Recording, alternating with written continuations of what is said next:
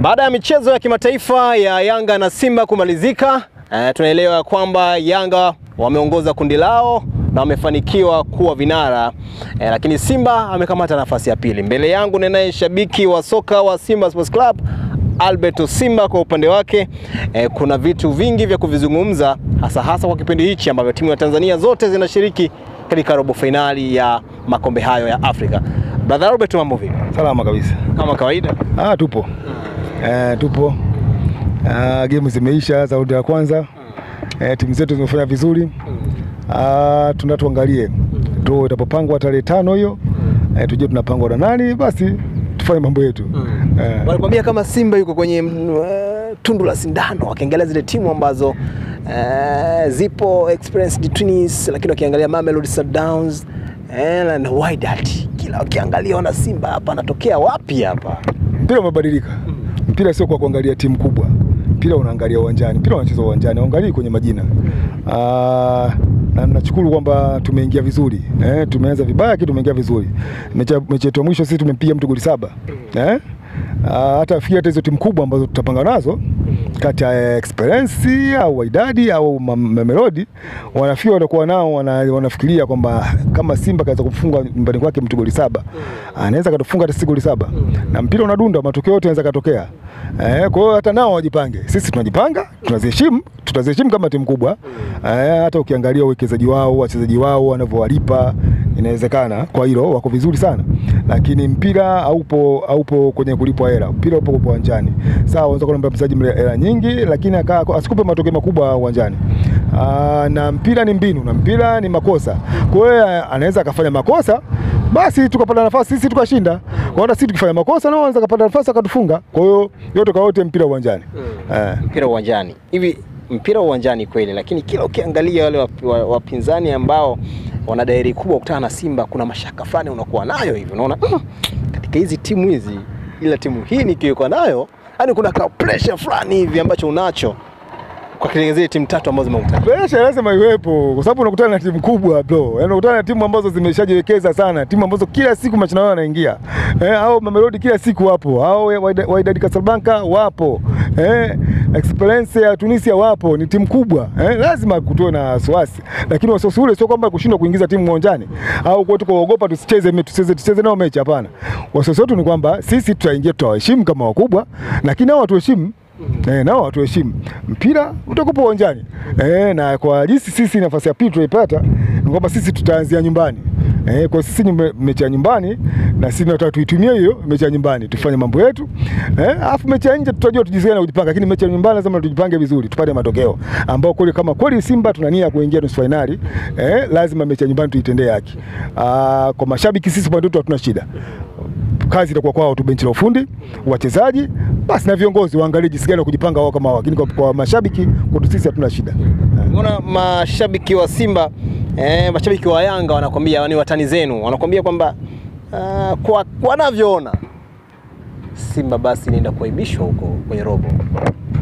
Hakuna kitu kama hicho kuaibishwa, hakuna kwa sababu eh, mashindano ni makubwa, tukatae na, tumeingia klabu bingwa mashindano makubwa, tukatae na timu yetu wanayote wanaibeza sana, lakini ndio timu hiyo ambayo iko Champion League, wao wako shirikisho. Sasa wenye timu nzuri unaona wako kwenye, kwenye mashindano gani, na timu yetu mbovu ndio iko kwenye mashindano gani? Sasa na tumeshika nafasi ya pili kwenye kundi mm. eh, na ingawa tulianza vibaya eh, lakini tukaja tukajiuliza, tukakaa sawa, wachezaji wakakaa sawa, wakaona haiwezekani. Kwa hiyo haiwezekani, ikawezekana, lazima iwezekana, mm. lazima iwezekane, ikawezekana, tumeingia kwenye makundi. makundi. Na beki gani? Onyango.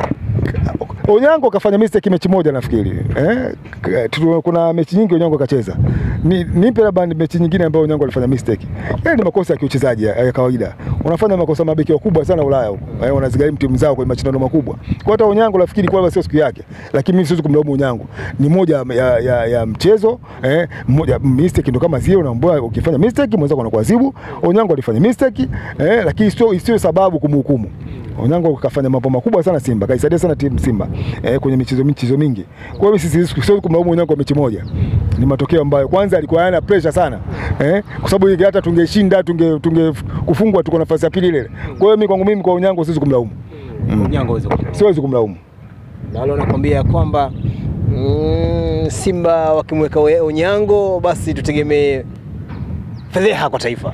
Na ndo mchezaji huyo kaifikisha timu makundi kaingia robo finali.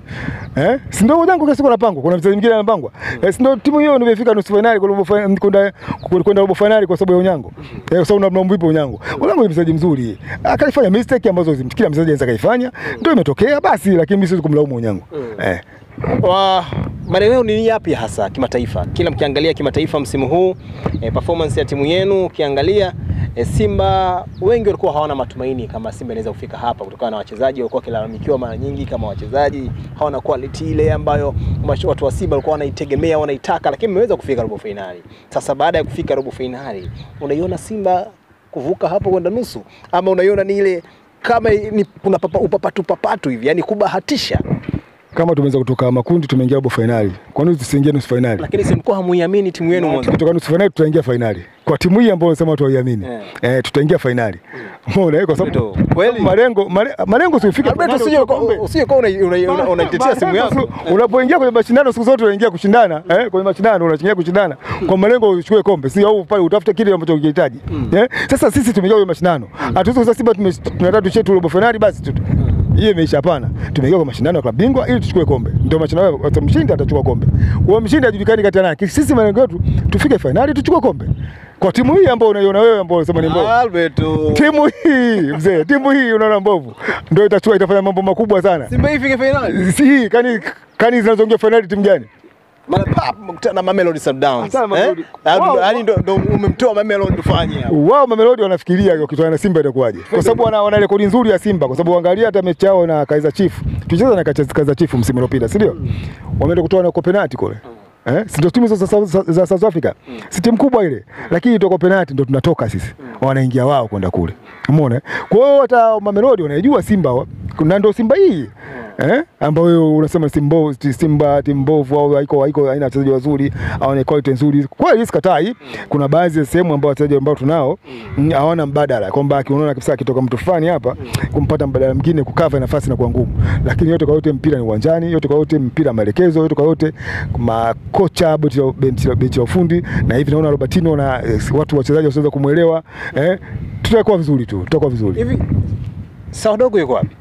Sadogo yupo sasa. Sanogo yupo, ni mchezaji wa Simba. Inawezekana eh, labda mfumo umemkataa eh, na ukichukulia unajua Misumari. Maana nasikia Simba wanapigana misumari sana mule.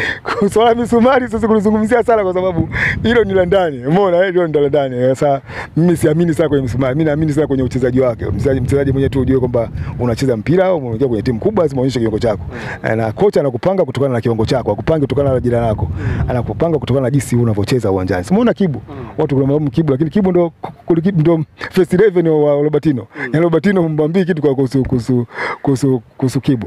Kwa hiyo ni, ni vitu ambavyo vinafanyika. Sawa dogo yupo atakuwa atakuwa kat- mmoja wa wachezaji wa Simba baadaye, kama iko injury au kama ni, bani, ni mfumo unamkataa, lakini naamini Simba wamemsajili wako kukojea kumtumia hmm. eh, akikiwa sawa atatumika. Onekani hata kwenye benchi. Eh, lazima ukubali, hata mkude mbona singine anakaa benchi Simba mambo magumu ndio. Sio magumu. Ukiona kwamba mchezaji mkubwa amesajiliwa funga unakaa- unakaa benchi au benchi onekani, ongeza kiwango chako. Unajua kwamba namba unaicheza wewe kuna mtu. Haya. Augustine Okra. Magician yuko wapi? Wana Simba wanauliza Okra yuko wapi?